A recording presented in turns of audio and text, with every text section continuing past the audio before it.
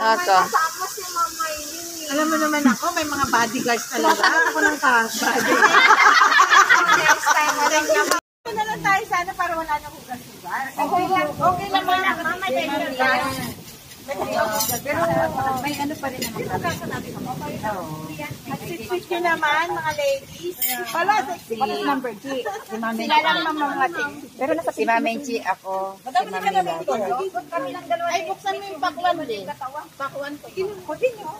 Pakwa kayo niya. Oo. Diyan na, mamaya. Ayan, Para matanggal ang lumig. Oo nga. Para mamaya maglublog tayo.